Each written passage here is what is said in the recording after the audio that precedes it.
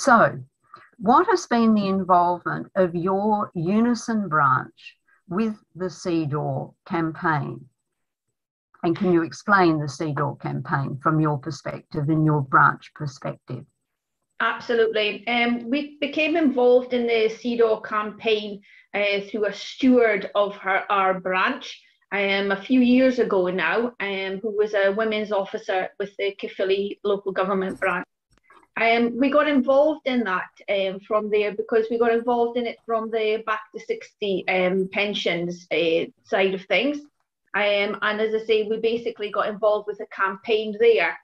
Um, what we did, we've been quite active in terms of supporting the CEDAW campaign um, because it is fundamentally around women's uh, rights and discrimination, uh, which is something, as I say, that the Unison, the trade union that um, I represent, sort of thing, as a branch secretary, is is highly involved in.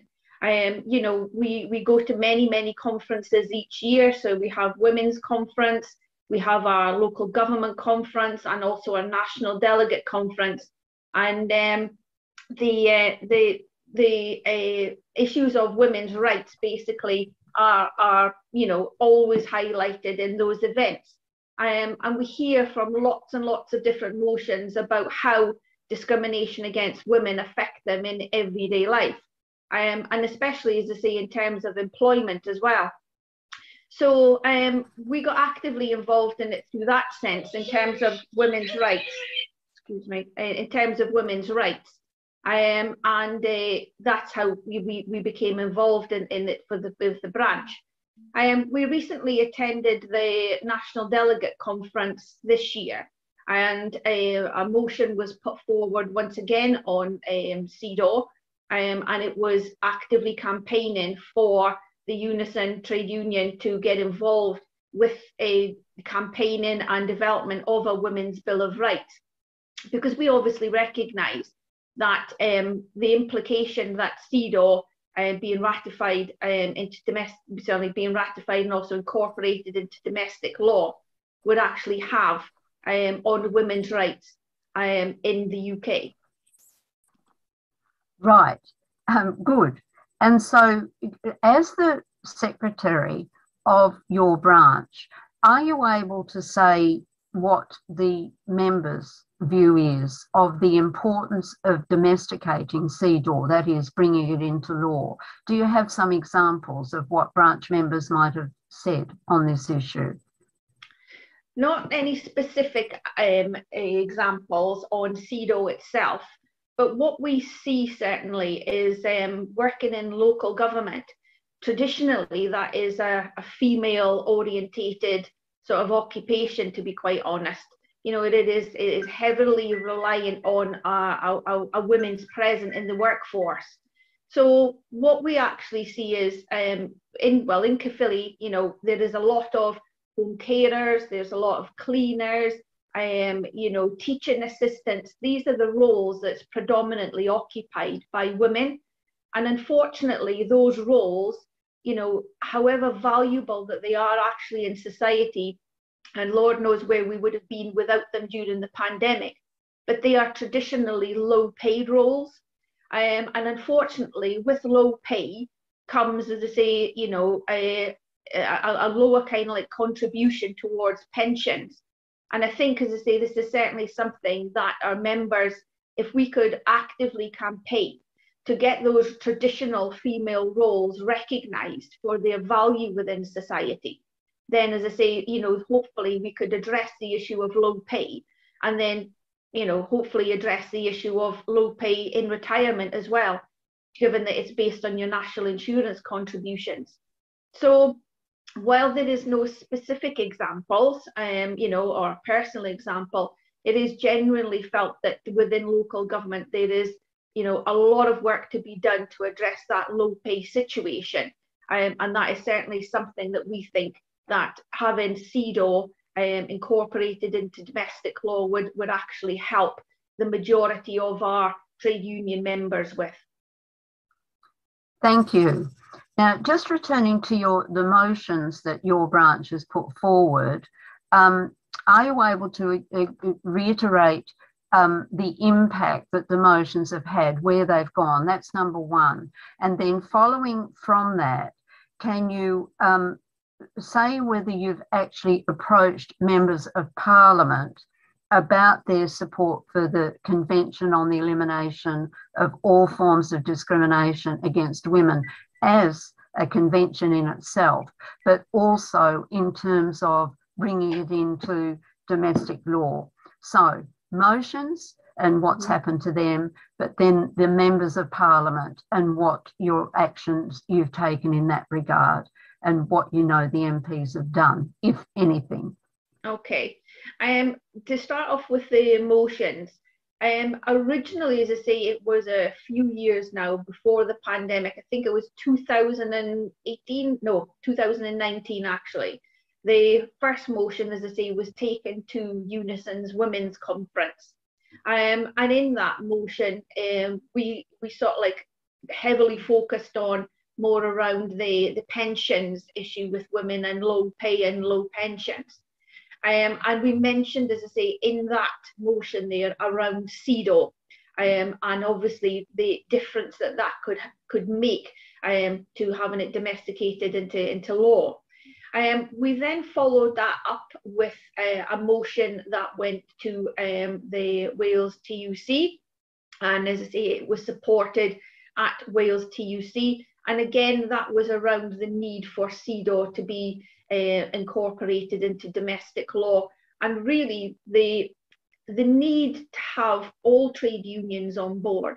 So not just uh, Unison, but actually the need to have all of our trade unions who have women members um, picking up that mantle and supporting CEDAW.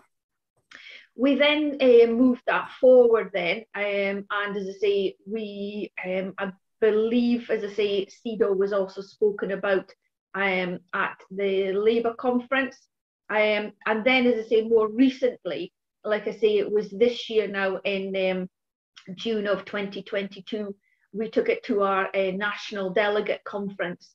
And again, that is where we was asking for support from the trade union to actually campaign for a women's bill of rights. Um, and obviously the implications that that would have um, on women's rights in the uh, right across the UK. So that has been in terms of the motions that's been put forward from a unison perspective and, and my branch perspective.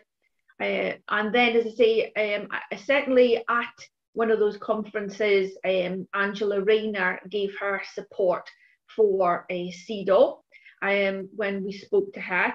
Um, and I know that, as I say, there has been um, discussions, uh, you know, around the halls of, of Westminster on CEDAW um, about actually pushing forward now for a women's bill of rights, especially now that Dominic Raab um, is looking at introducing the a new reformed bill of rights in the UK.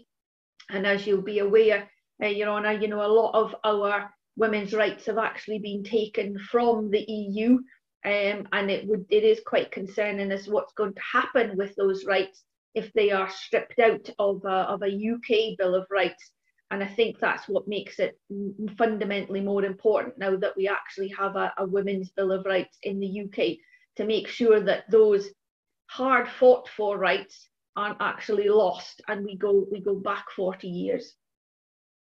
Good. I'm pleased to hear that uh, members of parliament are aware that the Convention on the Elimination of All Forms of Discrimination actually exists because we have found within the um, judiciary that there seems to be, at least on the part of some in the judiciary, um, a, a, lack of awareness of CEDAW. So if MPs are coming to the party in terms of CEDAW and that it actually exists, that's at least one positive note.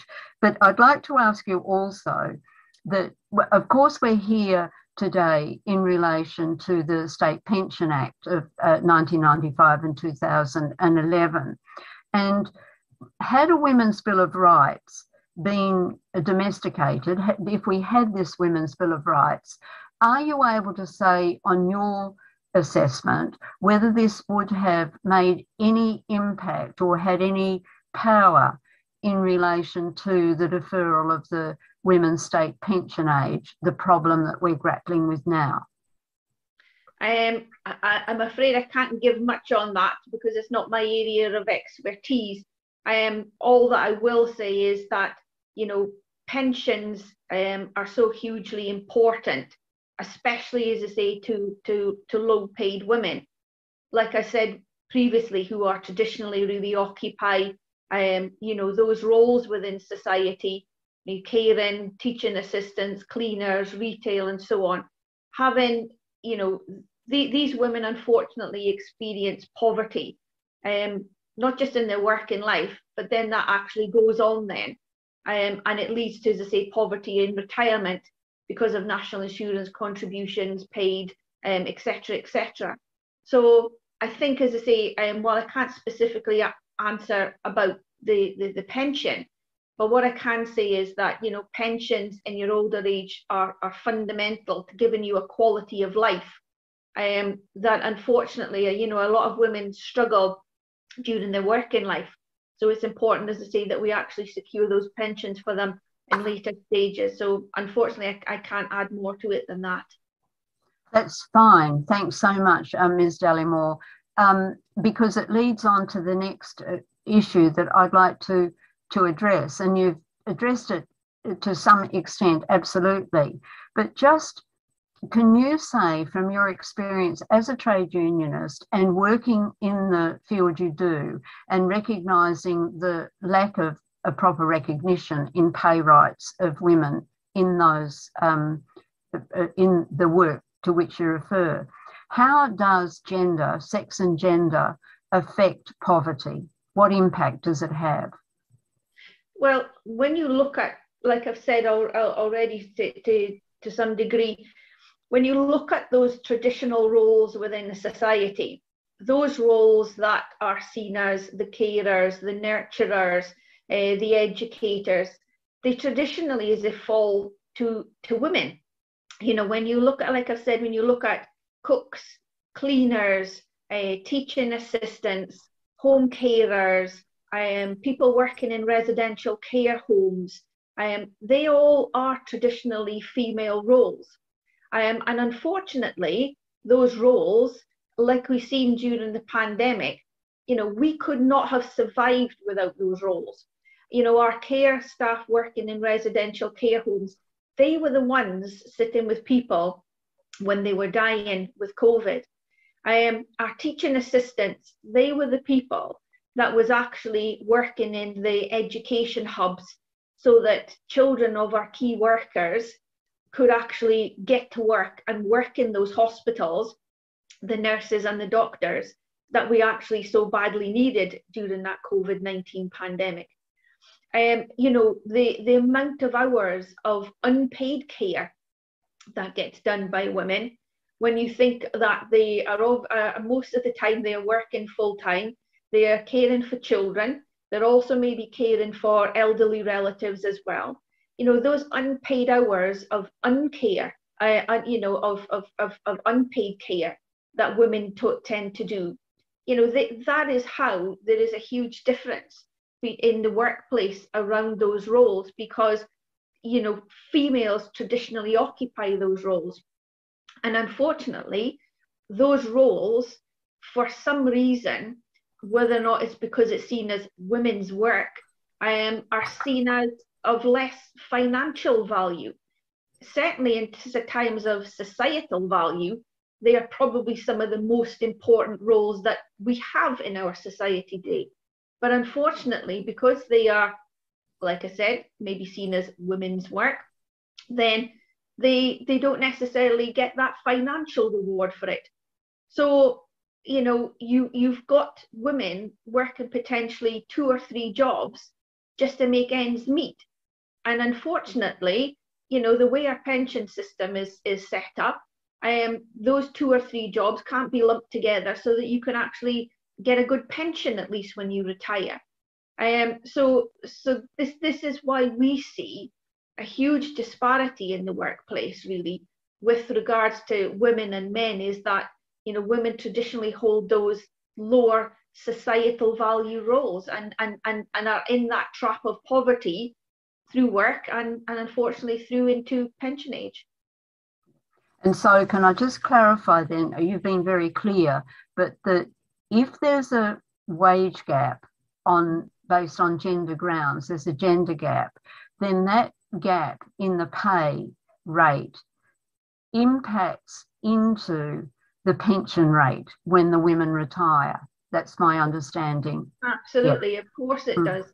Um, and and especially as I say, you know, the the government, I think, short-sightedness really. Um, when they look at things like national insurance, the rate that you start to pay national insurance, um, they're constantly putting that up.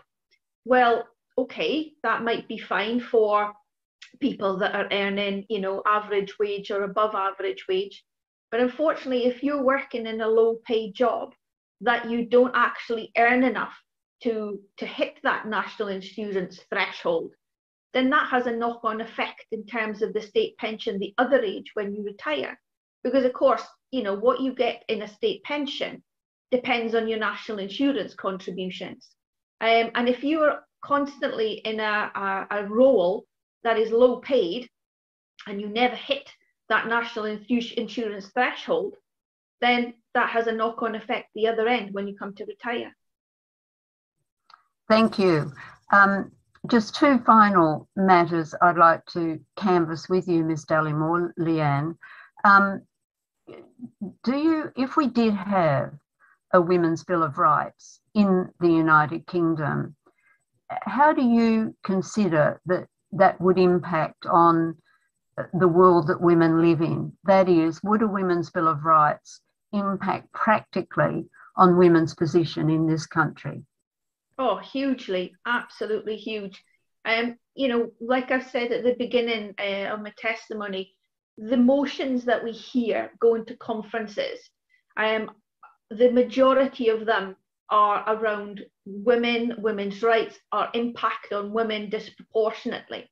So you take things like um, sexual harassment in the workplace, uh, violence against women, uh, disability, um, specific issues that Black women face, uh, the, the, whole range um, of, of areas of society that negatively impacts uh, upon women. A women's having a women's, women's bill of rights could fundamentally change a lot of those areas. You even when you take uh, violence against women and, and the issue of refuge, women refuge, you know, they, they just now there is, um, you know, so many women crying out for places in refuge due to dom- domestic violence. And unfortunately, a lot of those times, those places aren't available and they land up sofa surfing or staying with friends or relatives or, or, or other friends and they get trapped like in that cycle. Whereas there would be a requirement to provide those services for women. And that would be fundamentally what's different about having a women's Bill of Rights is that those services that those women so badly need would have to be provided. Whereas just now it's sort of almost provided piecemeal. It's, yeah, well, we'll put some money into the pot, but it goes nowhere near to actually really um, addressing the, the full need of, of domestic violence and, and the need for women's refuge. And that's just one area you know, it, it, it would fundamentally change so much of women's lives um, that, you know, they, those areas that we've maybe been fighting for for years and years and years around discrimination could practically, um, if there was a will, it could it could be eradicated. Thank you. Um, is there any other issue or aspect that you'd like to raise this morning in your evidence to the CEDAW People's Tribunal on women's pension rights? I am no nothing that I can think of, Your Honour. well, thanks so much, um, Ms. Dallimore. Um, uh, it's been a pleasure to have you, and thank you very much for your evidence. Thank you. Good. Thank you.